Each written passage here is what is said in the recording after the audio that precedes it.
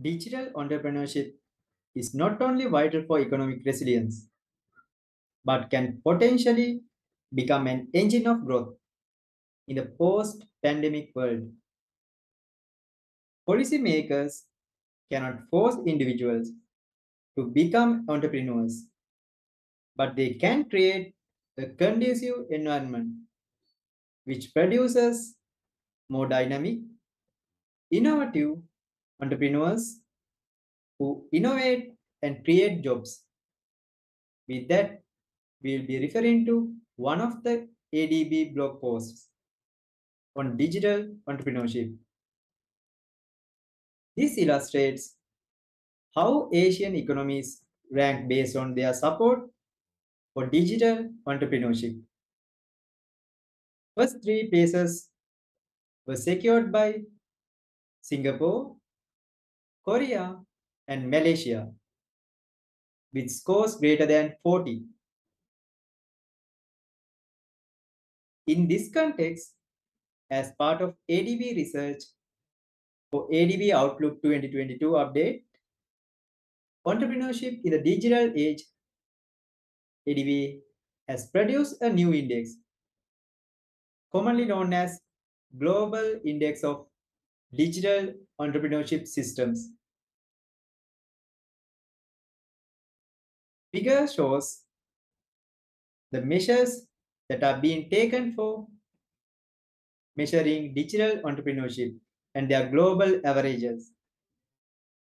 Those measures include physical infrastructure, human capital, finance, networking and support, so on and so forth. Singapore boasts the world's best digital entrepreneurship system, and it has a top score, ranking it first among 15 top tier leaders that include, in descending order, US, Sweden, Denmark, and Switzerland. Next year comprises 10 primarily innovation driven high income economies, such as France, Israel, and Korea. Seven developing Asian countries are also among 32 that are ranked next in the index.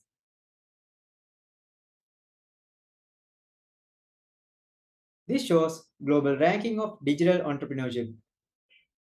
As already communicated, first three positions were secured by Singapore, US, and Sweden. This reveals plenty of scope for improving quality of entrepreneurial climate in the region of Asia. Each country has a very different digital entrepreneurship system profile, which indicates need for tailored policies on entrepreneurship and digitalization. With that, we'll be concluding the presentation. Thanks for watching. Kindly share this among your colleagues.